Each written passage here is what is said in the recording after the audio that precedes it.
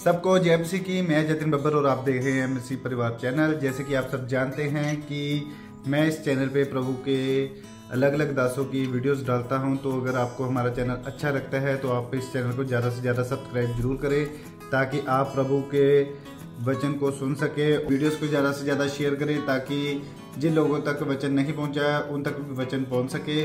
सबको जैमसी की। एक बार मैं आपसे दोबारा कहूँगा कि इस चैनल को सब्सक्राइब ज़रूर करें और वीडियोस को ज़्यादा से ज़्यादा शेयर करें जैमसी की क्योंकि तेरी स्पिरिट तेरा अंगीकार तैयार नहीं है। जब तक मैं अपनी लाइफ में इस लेवल तक नहीं आ गया कि गिर के उठ के, गिर के उठ के उपस्थिति प्राप्त करके खो के, पा के, फिर खोई, पाई, खोई, जब तक इस लेवल तक नहीं आ गया कि प्रभु तेरे बिना मैं कुछ भी नहीं हूँ, कृपया अपना पवित्र आत्मा मुझसे अलग ना करना। तब तक उसने मुझे स्थिरता वाला जीवन नहीं दिया। हालेलुया हर चीज़ के पीछे एक कारण है। जब तक आप उस तरीके को समझ नहीं पाते, तब तक आप हिल नहीं पाते, होते। आज लोग संडे मिस करते हैं चर्च महीने में कितने दिन चर्च आते हो? चार। चार एतवार आते, कभी पाँच आते। तो महीने दिन तुम चार बार चर्च आए, और कहते, प्रभु, क्यों नहीं कुछ हुआ? सिर्फ़ चार दिन। मेरे क्या डॉक्टर के पास जाते, तुम पंद्रह दिन लगा देते हो।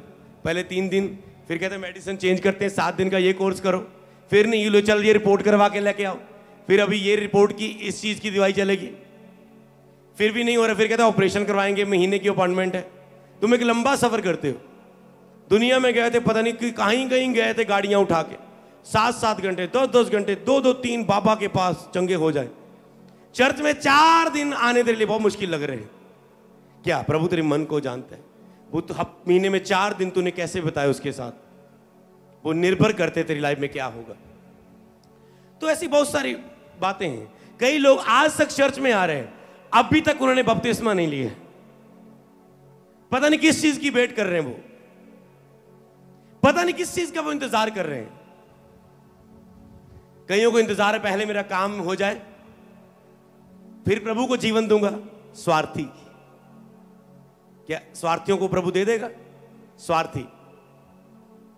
हाँ प्रभु किसी पर पहले दिन आए, दया कर दे, जैसे आज बंदे आए, पहले पहली बार आया, जी ठीक हो गया। मैं उसके लिए प्रेर भी कर रहा हूँ, वो है कि ऐसे आके खड़ा क्योंकि पहली बार आया, नहीं पता कुछ। तो लोग, प्रभु दया कर दे तो कर दे। पर आप अगर इस सोच में टिका के बैठे, जब प्रभु देगा तो बपतिस्मा लेंगे। ये रॉन्ग बात है। आप साथ नहीं दे रहे परमेश्वर जो पहले ही कर चुका उसे लेने का। आपको, हम परमेश्वर के सहकर्मी हैं, हम परमेश्वर के सहयोगी हैं। तो आपको सहयोग करना है परमेश्वर का कि वो आपकी लाइफ में काम कर सके। वो बिना आपके सहयोग के आपकी लाइफ में काम नहीं करता। आपको सहयोग करना है परमेश्वर का कि वो जो आपकी लाइफ में कर चुका है, उसे आपकी लाइफ में दिखा सके आपको। जो महिमा प्रकट कर चुका है, उसे आपकी लाइफ के ऊपर दिखा सके। कई लोग हाँ मैं प्रभु से पूरा प्रेम करती हूँ, यीशु ही प्रभु है, मुझे सब कुछ विश्वास है। पर बपतिस्मा नहीं लेना, क्यों? अगर प्रभु में कोई रिश्ता ना मिला, फिर? रिश्ता ना मिले मसीह कोई फिर? यही तो बिलीव नहीं है तेरा, ना मिल गया था। तुम शक करके ये ना कहना, तुम चिंता करके ये ना कहना, क्या खाएँगे, क्या पिएँगे, क्या पहनेंगे? मैरिज कैसे होगा, ये कैसे होगा, वो कैसे होगा? दुनिया क्या कहेगी, लोग क्या कहेंगे हस्बैंड क्या कहेगा वाइफ क्या कहेगा, बच्चे क्या कहेंगे बिज़नेस वाले लोग क्या कहेंगे टीचर क्या कहेंगे स्कूल में फ्रेंड्स क्या कहेंगे? सबसे बड़ा रोग क्या कहेंगे लोग? रोग आपका बड़ा नहीं है। रोग तो चुटकी का काम है हील होना। पर बड़ा रोग ये है, क्या कहेंगे लोग? वो आपको हील नहीं करने देता। आज सब कीड़े निकाल दो। देखना कैसे काम करेगा खुदा आपकी लाइफ में। हाले बपतिस्मा नहीं ले रहे। ओके क्यों? लोग क्या कहेंगे? मेरा मैरिज हमने सुंदर रिश्ते होते देखे मसीह में। वेट के बाद उन्हें ग्रेट मिलता देखा है। बस यही लोग है वेट नहीं करना चाहते। बस ब्याह हो जाए। मतलब जो तुम मैरिज को समझ रहे हो, वैसा कुछ नहीं होता जो तुम मैरिज को समझ रहे हो। वो बस दिमाग है। मैरिज एक साथ ही एक साथ ही मिलता है। जो आप, जिसके साथ आप पूरा परिवार आराम से, खुशियों से रह के अपने जीवन को चलाते हो। बपतिस्मा क्यों नहीं ले रहे? यीशु को जीवन क्यों नहीं दे रहे? मुझसे ना अभी भी बीड़ी लग जाती है। मैं अभी भी जर्दा मलता हूँ। जिस दिन मैं ये पैकेज छोड़ दूँगा ना, फिर बपतिस्मा लूँगा। अभी भी मेरा गलत रिलेशनशिप है किसी लड़की के साथ। मैं भी पापी बंदे ने, मैं की बपतिस्मा लेना? अभी भी मुझसे ना गालियाँ निकल जाती, इसलिए मैं बपतिस्मा नहीं लेता। मैं फिर मुझे ऐसे स्थानों में जाना पड़ता है ना जहाँ पर खाना खूना पड़ता है तूफा तूफा सारा कुछ। वो वो फ्रीज तीर पैदा रुपये पैदा रोज़े खाना मिलता है। वो खाना बंद हो जाएगा ना। एक व्यक्ति मुझे कह रहा है, मेरा तो उठना बैठना फ्री के खाने फ्री के लंगर प्रसाद वालों में है। तो मेरा तो उठना बैठना ऐसे लोगों में तो वो तो फिर बंद हो जाएगा अगर बपतिस्मा लूँगा। अरे तीस पचास का खाना तुझे प्यारा है। नरक की आग से तुझे कोई डर नहीं है। मुक्ति से, शांति से, पवित्रता से, परमेश्वर की दया तुझे नहीं चाहिए। खाने के बदले बाइबल में लोगों ने अपने हक खो दिए खाने के चक्कर में। कहता, रोटी चाहिए या अधिकार चाहिए? कहता, मुझे तो भूख लगी, रोटी चाहिए। दाल चाहिए मुझे तो। अपने पहलोटे के हक, अपने अधिकार लोगों ने खो दिए खाने के चक्कर में। हवा ने फल खाने को अच्छा देखने को मन भावना खाया, गई काम से। समझ पा रहे खुदा की उपस्थिति खो दी। तो लोगों की लाइफ में ये चीज़ें रह चुकी है। लेकिन उनसे मत डरो जो शरीर को नाश कर सकते हैं, बल्कि उससे डरो जो आत्मा और शरीर दोनों को नरक में फेंक सकता है। तो मनुष्यों से मत डरो। ये लोगों को लगता है कि मैं पवित्रता में होऊँगा, तब प्रभु को अपना जीवन दूँगा। अगर तुझे ही पवित्रता ही पास करनी होती तो यीशु को मरने की क्या ज़रूरत थी क्रूस पर तेरे लिए? यीशु ने क्रूस पर इसलिए जान दी जो व्यक्ति पाप से निकल नहीं पा रहा पाप से आज़ाद नहीं हो पा रहा उनको लगता है पाप किए बिना मनुष्य बना ही पाप के लिए, गंदा देखने से रह ही नहीं सकता, मनुष्य गंदा बोलने से रह ही नहीं सकता, ये गालियाँ तो हमारी लैंग्वेज ही है, इसे छोड़ ही नहीं सकते हम। तो उनको लगता है कि ये नहीं हो ही नहीं सकता। लिखा है, परमेश्वर मनुष्य से तो नहीं, परंतु परमेश्वर से सब कुछ हो सकता है। उसने कहा, मैं अपनी आत्मा तुम्हें दूँगा तो सब कुछ हो सकता है। जिसके अंदर परमेश्वर का बीज है, वो पाप कर ही नहीं सकता। क्या परमेश्वर से पैदा हुए, उस बीज से पैदा हुए, उस अविनाशी बीज से? तो इसीलिए, अगर आप नहीं पाप छोड़ने होते तो आप पहले नहीं छोड़ पाए इतने सालों से। आप घमंड करते कि मैं छोड़ पाऊँ, और कभी नहीं कर पाओगे। लोगों को मैंने देखा कसमें खाते कर वाली के साथ। मैंने सौ लगे हूँ एक महीना मैं पिग नहीं लाना। और हफ़्ते बाद लगाना शुरू कर देते ਮੈਨੂੰ ਤੇਰੀ ਕਸਮ ਮੈਨੂੰ ਬੱਚਿਆਂ ਦੀ ਕਸਮ ਸਾਰੇ ਮਾਰ ਦਿੰਦੇ मैं हूं नहीं पैग लाऊंगा फिर शुरू करते क्यों क्योंकि उन्हें लगता है थोड़ा सा इमोशन से टच करते वाइफ रो रही है आज से नहीं पीऊंगा क्योंकि आंसू ने रो लाया पर वो पाप की बिलाशा इतनी तकड़ी थी वाइफ के आंसू भूल गए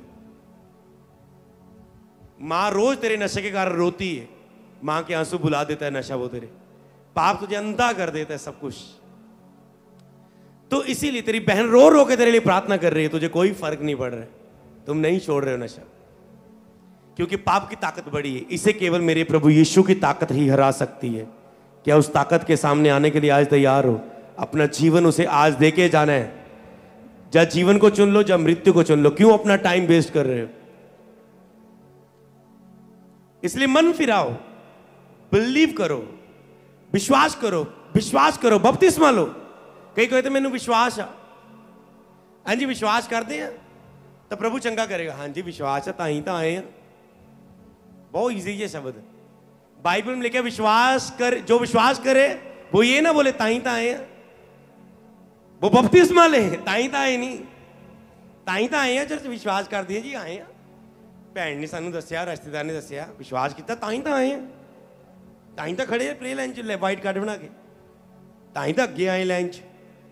बाइबल में जो विश्वास करे, सो बपतिस्मा ले। अगर तूने आज तक बपतिस्मा नहीं लिया, यीशु को जीवन नहीं दिया, इसका मतलब आज तक तूने विश्वास किया ही नहीं। तूने विश्वास किया ही नहीं। तुम ऑनलाइन बैठ के बस लाइव मीटिंग देखते रहते हो, मेरा पति सुधर जाए, मेरा कर्जा खत्म हो जाए, तुम, मेरा ये हो जाए, मेरा वो हो जाए, मुझे गवर्नमेंट जॉब मिल जाए, पर यीशु को जीवन देने के लिए ये मिल जाए, वो मिल जाए, प्रभु कहते अपना जीवन दे दे, सब कुछ मिल जाएगा। नहीं प्रभु, सब कुछ चाहिए। तू नहीं चाहिए। सब कुछ चाहिए, तुझसे चाहिए, तू नहीं चाहिए। तुझसे चंगाई चाहिए, तुझसे बरकत चाहिए, तुझसे बच्चे की आश चाहिए, वीज़ा चाहिए, तू नहीं चाहिए प्रभु। आप ऐसे बोल रहे हैं, जो इंतज़ार कर रहे हैं प्रभु को अपना जीवन देने का। लोग डरते हैं। एक व्यक्ति मेरे पास आया, कहते, पास्टर जी, मेरी जो गवर्नमेंट जॉब नहीं लग रही, मेरी पोस्ट नहीं बढ़ रही, मेरे बेबी नहीं हो रहा है। अचानक से पवित्र आत्मा ने बोले पूछ मैंने कहा, आपकी मैरिज कैसे हुई थी? प्रभु में हुई थी या अन्य जाति में हुई थी?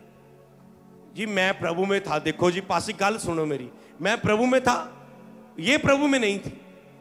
मैंने इसके कारण अन्य जाति में मैरिज करवा ली। यीशु का इनकार करके, मैं प्रभु ने कहा, अगर मेरे सन्मुख तेरे लिए कोई दूसरा देवता ना हो, दस आज्ञा में से एक है।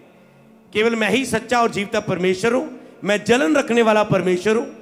अगर तुम मेरी महिमा किसी और को देता है मैं जलन रखने वाला परमेश्वर। तो कहते, देख पास्टर जी, ये प्रभु च नहीं सी मेना ब्याह करा के ये प्रभु च आ गई। एक रूह बच गई। मैंने कहा, अगर तू ना झुकता तो आज हज़ारों बचा चुका होता, प्रभु तुझे यूज़ करता। आज एक ही लेके बैठा है, साथ में गवर्नमेंट जॉब नहीं है, साथ में बेबी नहीं है, हस्बैंड वाइफ में लड़ाई झगड़ा है, सब कुछ तो खत्म है तेरा। एक रॉन्ग डिसीज़न सब कुछ खत्म कर देता आपका। जो आपको सही लग रहा है।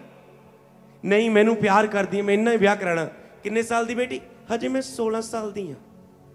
नहीं, मैं प्यार कर दी अरे, ब्याह होना बीस, चौबीस, पच्चीस जाके तेरा।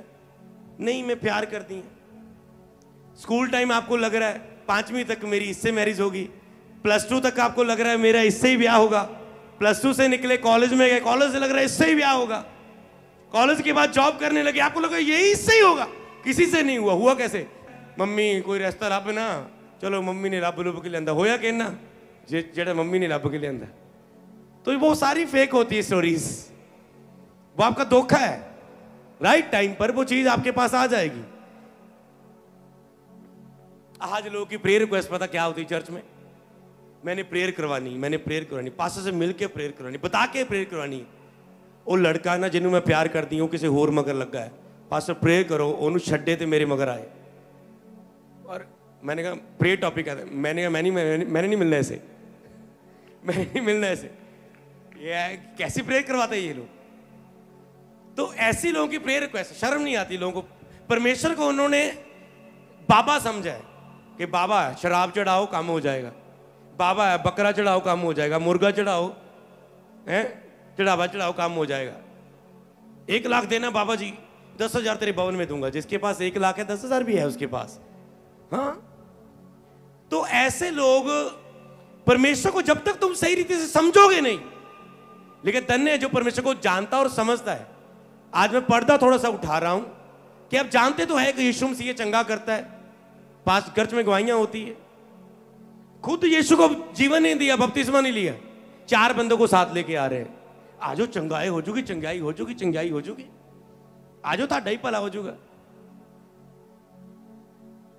वो चार तो आशीष ले गए, पर तुम अभी भी खाली हो। क्यों? क्योंकि चारों ने दिल खोल लिए।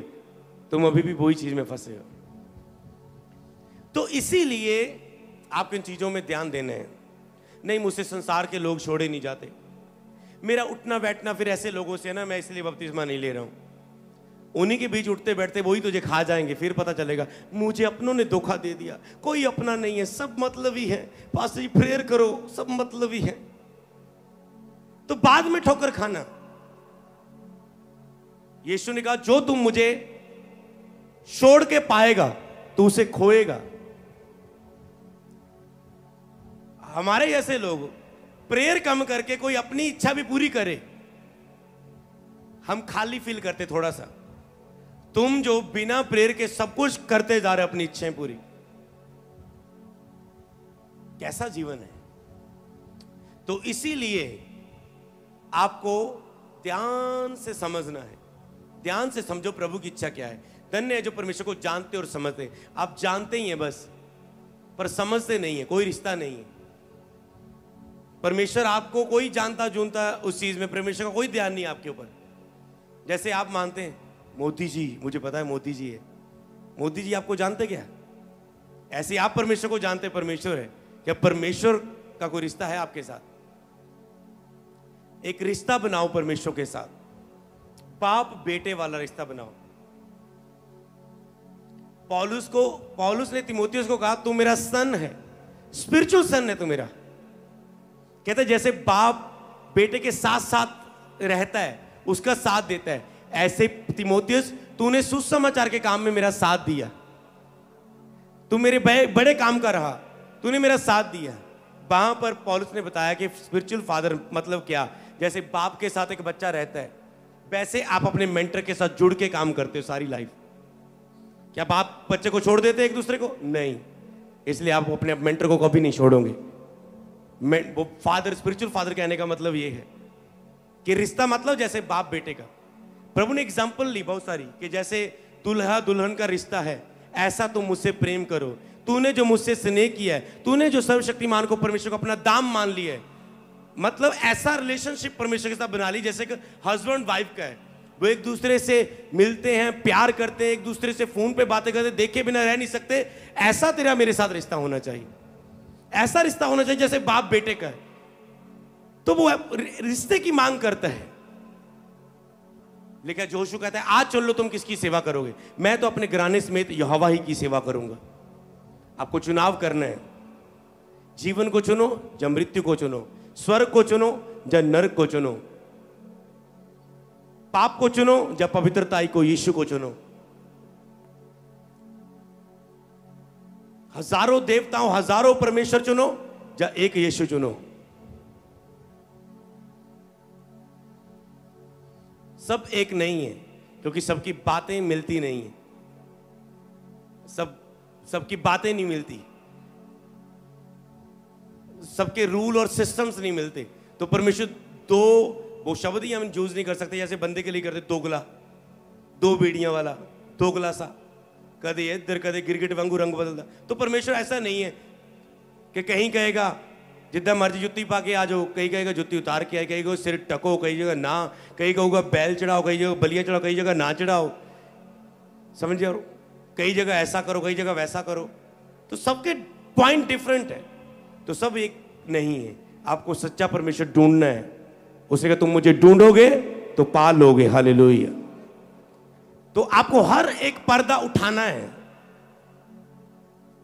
लिखे परमेश्वर ने आपको आँखें दी वो देखता है। मूर्ति जगत में परमेश्वर नहीं है। उसकी आँखें वो देखती नहीं, उसके कान है वो सुनती नहीं। उसका मुँह है वो आपके लिए बोलती नहीं। उसको बनाने वाले भी मूर्त जैसे उस, उसको बनाने वाले समय ने भी बहुत सारे किसी ने सिगरेट बनाते हुए बनाया, उसे किसी ने जर्दा लगाते हुए उसे बनाया। तो परमेश्वर की, परमेश्वर का स्टैंडर्ड इतना लो नहीं है। परमेश्वर आत्मा है। अवश्य जो परमेश्वर के पास आए उसकी आराधना करे, वो रू और सच्चाई से उसकी आराधना करे, उसे आत्मा परमेश्वर मानते हुए हाले कि वो हर जगह मौजूद है हाले